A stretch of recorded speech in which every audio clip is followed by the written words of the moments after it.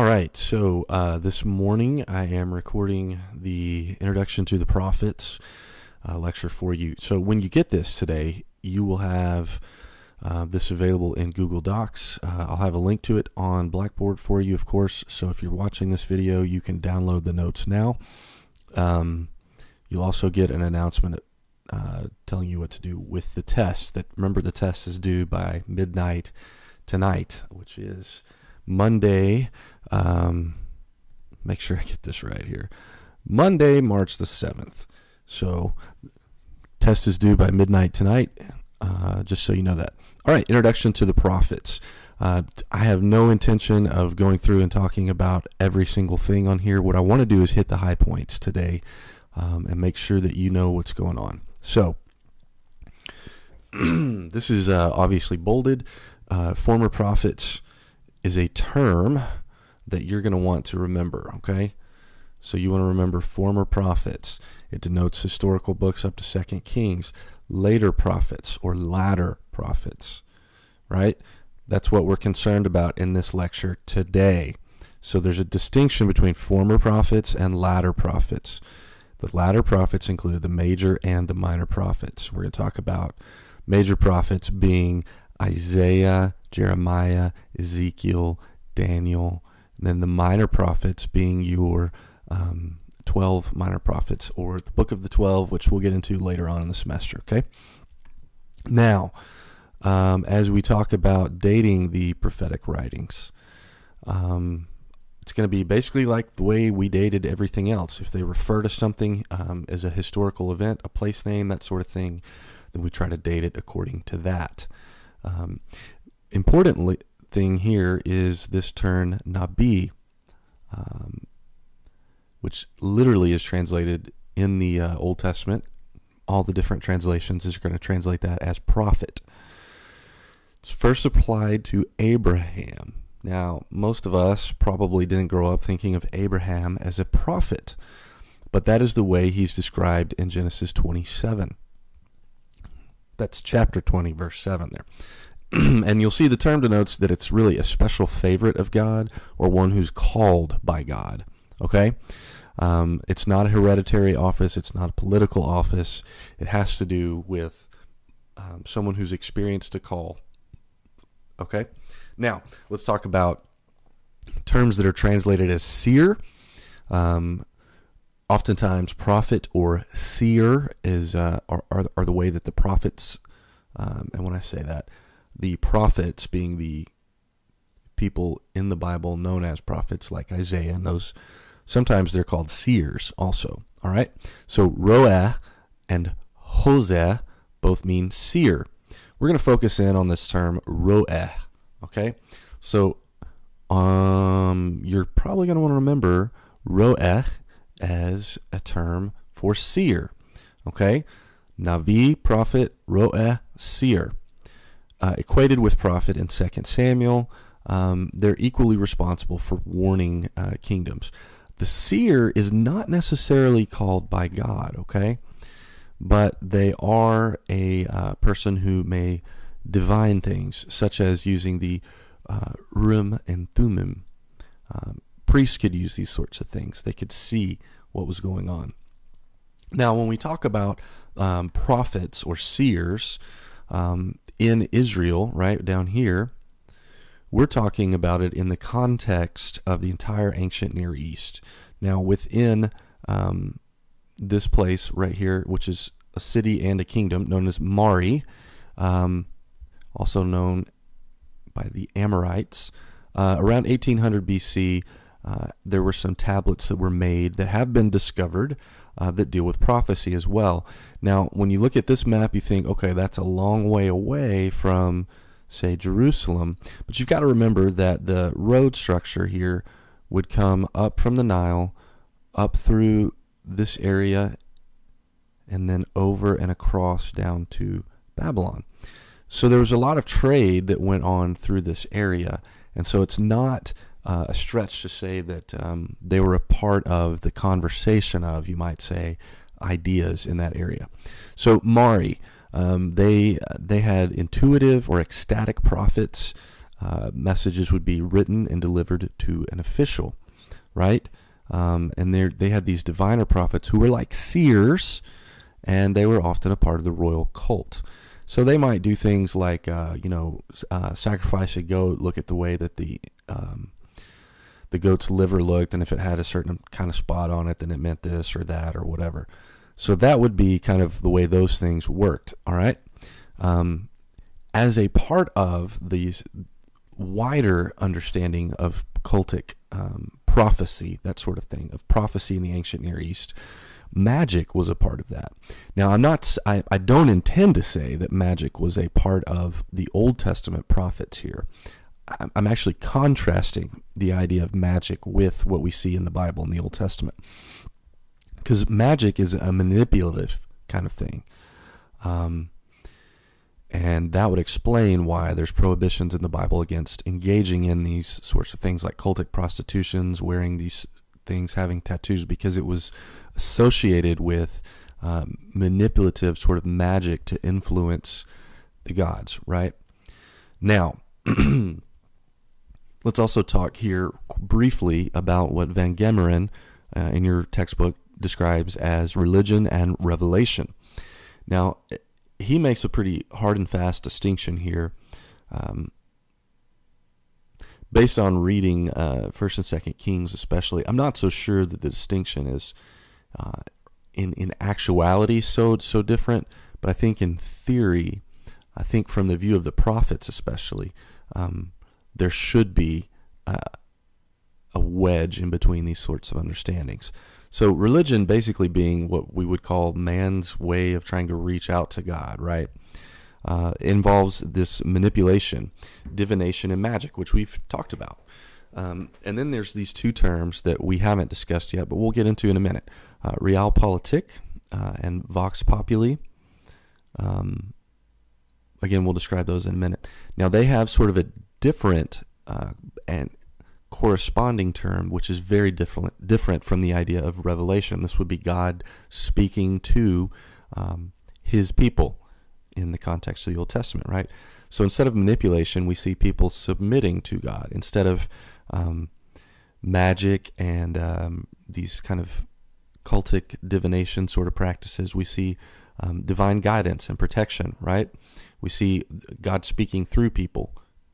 Um, we we see uh, divine wisdom as a way of of uh, conducting politics, as a way of interacting with people, and not realpolitik or power politics, not trying to uh, consolidate power, not uh, making political sort of moves, but instead operating from a divine wisdom perspective.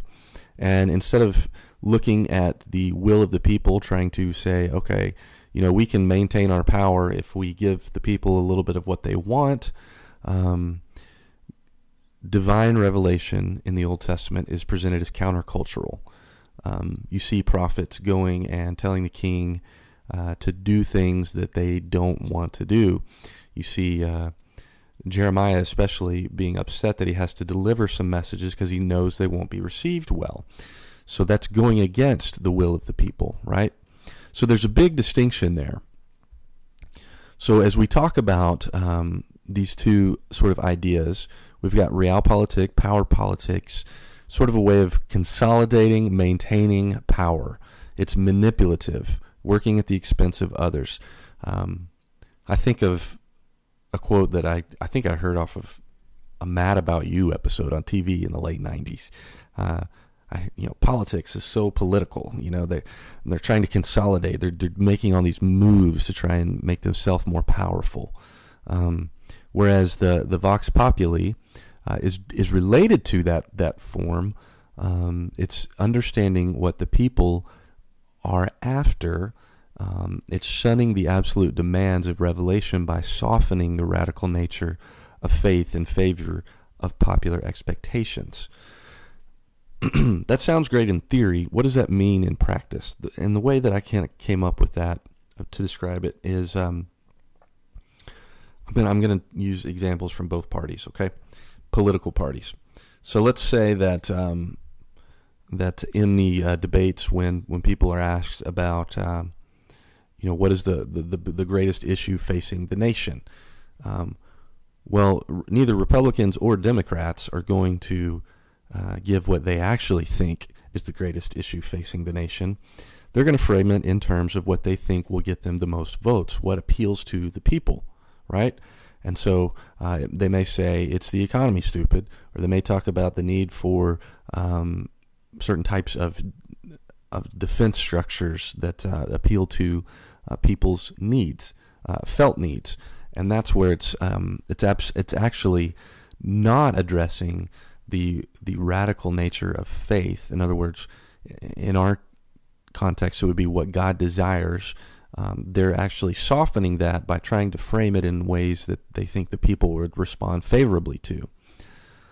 So that is uh, one of the ways that prophecy occurs in um, the Mari tablets and that sort of thing. You're thinking, what does this have to do with Old Testament stuff? It's going to come back into play later, okay? So just hang with that right now. So when we talk about in our textbook Van Gemeren who is a prophet, he lists several different features which uh, define a prophet. I'm not going to go through all of these. You got them right there. Just know that this is a list that you're going to want to remember, right? Uh, these are important. Um, you're going to see these pop up when we talk about um, characters who are prophets. now, when we talk about Samuel, um, he is sort of the role model for prophets. Um, he is not the king. He he presents God's word to the king. Um, he you might call him an intermediator uh, or a mediator. I'm a little sleepy still. A mediator between the king and God. Um, so you see him, and then you see, uh, and these are before the former and latter prophets, right? These are uh, historical prophet books. Okay, so Moses has been called the fountainhead of prophecy, which we don't really think about Moses as a prophet, but biblically, he's considered a prophet. And then Samuel uh, is kind of the action uh, where we get the all the examples of what a prophet does, uh, and then Elijah kind of shapes um, what a prophet is going to act like and do later on. We see a lot of those examples in Samuel. Elijah kind of uh, presents um, the lifestyle that they're going to follow. Okay. Now, um, these are some questions that you're going to want to be able to answer. Um, I think I've said enough about that. Be sure you can answer those questions. Now, let's talk about this idea of cultic prophecy um, in ancient Israel. Cultic prophets are different than what many of you and I would understand as a biblical prophet, okay? A cultic prophet is someone who is tied to a particular location, a particular shrine. So um, they would be at a at a location. Um, I'm trying to think. You, kind of see this sort of idea with um, the prophets of Baal and Elijah when they when they have their great contest, right? So with this contest, you have all these people who seem to be tied to a cultic locale, um, which would be the capital of the northern kingdom. And so they're a part of this shrine that Jezebel has, has kind of set up and worship there. And like I said before, more popular voices than reform voices. So some have said, yes, we see cultic prophecy in Israel. Um, I think it's a stretch, and I kind of give some reasons for that in the notes um, with some evidence in the text there. Um, so that's kind of what I think about cultic prophets. I don't really see them in the Old Testament. Um, we do have these writing prophets, though, right? And the writing prophets frequently condemn cultic worship or cult worship at certain locales. Um, they don't flatly reject any sanctuary worship, but um, they do talk about moral and ceremonial law being met at the same time. Okay? And they, they seem to appeal to this idea, um, which we find in 1 Samuel 15 22, where King Saul is rejected. He's rejected because he did not follow the word of the Lord. And it's not sacrifices, even though he carried out the sacrifice or whatever, but it's following God's word, which is supposed to be the way of worshiping. So we see uh, these different ideas of what a writing prophet is. Um, okay, we see Deborah called a prophetess, um, Huldah, no idea, um, Isaiah's wife. But other than those, we don't really hear anything about a prophetess, um, a woman prophet in Israel. Okay. Now they are related to other groups. Um, in other words, they didn't just talk amongst themselves, they interacted with the political elite, the military elite, that sort of thing. Um, you see that through throughout the Old Testament. Um, I'm going to go ahead and skip down here.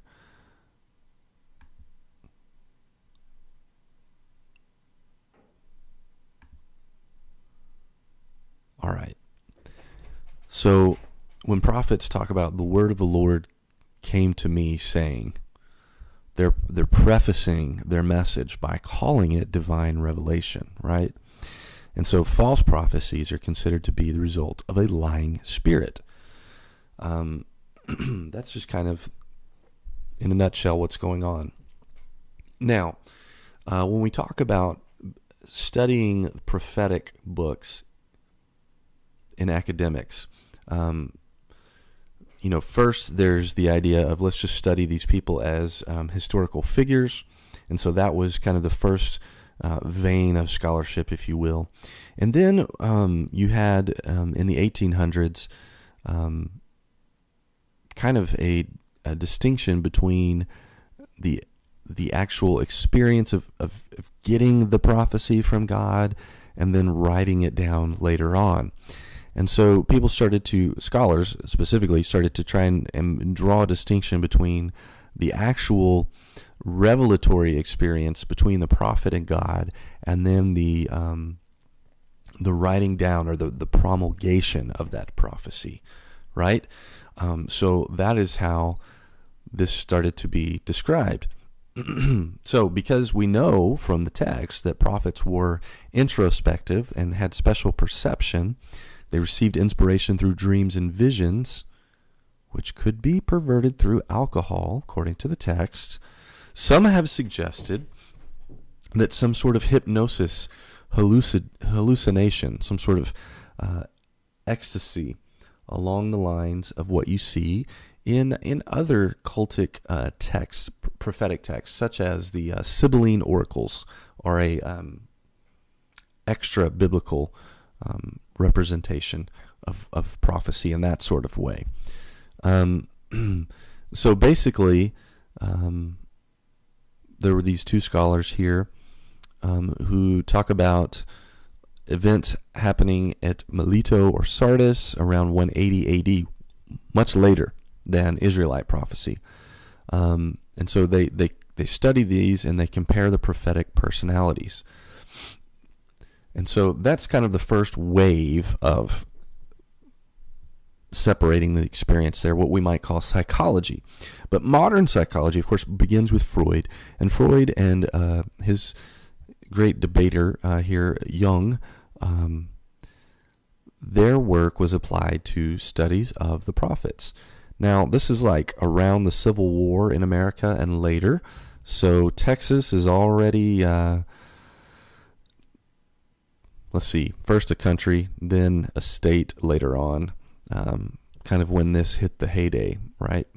So, historical criticisms on the rise, um, doubts about actually knowing anything real about the prophet, because remember, they're thinking uh, this is all not this biblical text in in historical critics' mind uh, at this point was not a reliable uh, historical text. And so it was a small leap to say, well, you know, we can find meaning in them through doing psychological studies. But the problem is the psychological studies don't really have a lot to do with the text, right? They're trying to get at something behind the text, something in the mind of, specifically an experience in the mind of an author. which is not really expressed in the text. So there's a lot of conjecture going on here. And that's why I don't really see this as a viable path forward in studying prophecy. Because for them the word for, for these prophets, the word of God wasn't authoritative necessarily because of what they saw. Hang on just a second. So, you have this this sort of thing going on.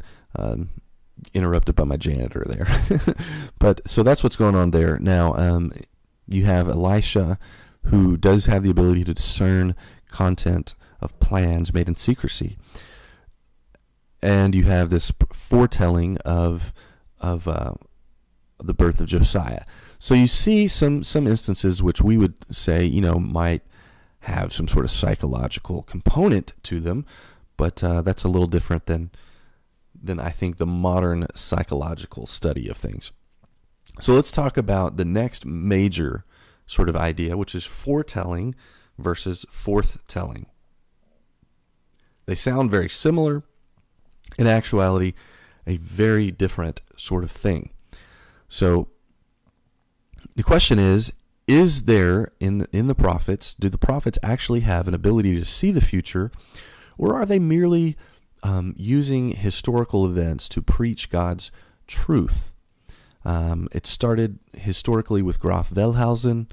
Uh, however, when you when you look way back in the church fathers, you see Augustine um, and others. So this is historical Christianity understood the prophets to be describing what was going to happen in the future because it was already determined. So, in other words, it's tied to sort of an understanding of, of history, an understanding of fate, an understanding of God's knowledge of things. And remember, when once you, you, you take away the understanding of miraculous, sort of divine intervention as uh, started to happen during and before Graf Wellhausen, then it opens up all sorts of uh, possibilities uh, for understanding things from a human perspective without necessarily seeing divine intervention there. So it is interesting to note that in ancient Near Eastern culture, the, the, the norm was not forthtelling. It wasn't that prophets looked back in history and preached truth. It was that the prophets could actually foretell events. So I think that's an important distinction for us to make. Why am I belaboring this point? It's because foretelling um, works from a understanding of divine inspiration in the text. Forthtelling works from a very different sort of understanding. Um, one of the figures that I like to talk about with forthtelling in scholarship would be someone like Walter Brueggemann. Uh, this is a guy I've met at professional meetings, well known uh, Old Testament scholar, retired now. He wrote um, some influential books like Prophetic Imagination, um, even this introduction to the Old Testament, which I've incorporated a little bit into our notes, but his his um, presuppositions are very different than ours, as you'll see here. So when he writes this book about the prophetic imagination, what he's talking about is this idea of forthtelling, that the prophet is looking back in history, um, trying to tell God's truth about um, what has happened and what will um, will happen. Not not in terms of will happen in historical events, but in terms of um, what are some general truths that we can draw from that and um, preach in the future. So he's kind of kind of saying that the prophets in the Old Testament functioned a lot like pastors and preachers in the current sense functioned. In other words, we don't necessarily want to stand up and say, you know, the Lord told me this will be the next president, blah blah blah. You know, we don't we don't do that uh, we tend to say that, um, you know, throughout the Bible, God has his hand in history, so God will not be surprised by who becomes the president. We, we preach those sorts of things. He puts that idea back into the text and says that, uh, that the prophets were doing this as a way to gain influence and power and shape the political nature of their context, uh, the social context that they lived in. So I, I, see that as very different than the biblical picture of a prophet, um, especially from the ancient Near Eastern perspective. They really thought prophets could foretell events. And so I think we should read the Old Testament in that same sense. So when we talk about um, literary criticism of the prophets, uh, a lot of this is going to be done um, from, a lot of what you'll read is going to be done from the perspective that these prophets were, were preaching um, general truths from past events, that they were not giving revelation of future events, right? So when you do that, you automatically look at them and say, okay, they're describing, say, events that happen um, with the overthrow of, for an example, the overthrow of the northern kingdom in 722 by Assyria. Since they're prophesying that that would happen in the future, a literary critical understanding, which is working from forthtelling and not foretelling, says the prophet can't actually know the future, so the prophet was later than 722 BC. It was after it had already happened. He wrote describing the history, making an assertion that it would happen, even though everyone already knew it had happened, trying to preach general truths. So it's it's a very different perspective. The prophets weren't telling the future. Okay? So um, that is not my perspective. I think they were telling the future, but this is how a lot of modern scholarship works. Now, when uh, modern criticism of prophetic book writing, this is sort of how they think things came together. In other words, prophet makes a statement. It's preserved orally by the hearers, written down. Then it was edited and arranged and collected. And honestly, you know, that sounds good. Where the debate would be and where um, conservatives oftentimes get upset at those and start saying people are liberal is when they want to stretch this into a very long period of time, right?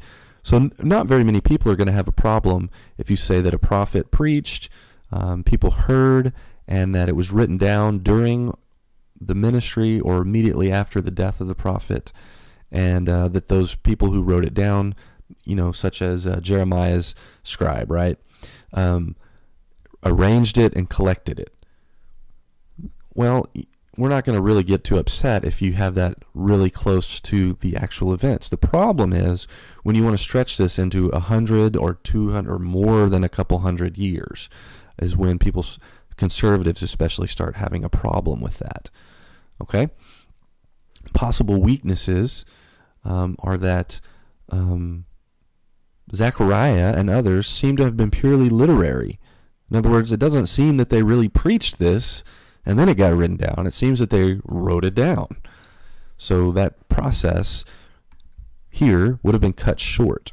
Uh, there wouldn't have been steps 1A, 1B, that sort of thing. Um, and so we've talked about this before. They're assuming that prophets were surrounded by a school of disciples, and there doesn't seem to be real good evidence for that, okay? So just know that those things are happening. Um, I'm going to leave that one alone. You can read about words of the prophets. Um, let's just hit this Chicago Statement of Inerrancy, which I have signed. Your teachers at Southwestern have signed. Uh, deal with the original autographs. And so you have to work out um, what that exactly means. People are really getting after me this morning. Um, so you have prophets and canon, um, these kinds of things four rolls of prophets. So you have the three major prophets, three scrolls for the major prophets, I should say, and you have one for the minor prophets. You have um, this idea of scribes and editors. Very, very important point that writing flourished after the 8th century BC. So around the time of the overthrow of the northern kingdom in 722 BC, writing is becoming um, widespread. Okay? Uh, before that, not that widespread. Um, perhaps uh, we, we see a picture of where prophecy really ended and became more exegetical, uh, tending toward the preaching that we see in the New Testament. Um, three types of prophetic speech. Again, these are something you're going to want to remember. Westermann's three types of prophetic speech. There's accounts, like historical narratives, there's prophetic speeches, and there are these utterances of prayer or man to God. Okay? Um, broadly speaking, there's several different types, which I've listed many examples from. Intertestamental times um, had people known as prophets as well that were not preserved in the Old Testament. Um, and so these were some understanding during the Greco Roman times about what prophets were, okay, based on the writings of Barton. A prophet is someone who might understand how predictions in Scripture apply to present times. So you see, the shift is to understanding Scripture, not being told the Word of God. Um, so that uh, you have someone like uh, the teacher of righteousness at Qumran who might be understood as a prophet because they can rightly interpret Scripture. Okay? So that's kind of how that works. Uh, eventually, um, some think prophecy turned into a sort of apocalypticism. Um, and basically, what we're just going to do is say that that has to do with end times. Okay? I'm not going to dwell too much on that. We'll talk more about apocalyptic writings when we get to Daniel, okay? But that's basically what I wanted to talk to you about today with um, this lecture. Those are some things that you need to remember, all right?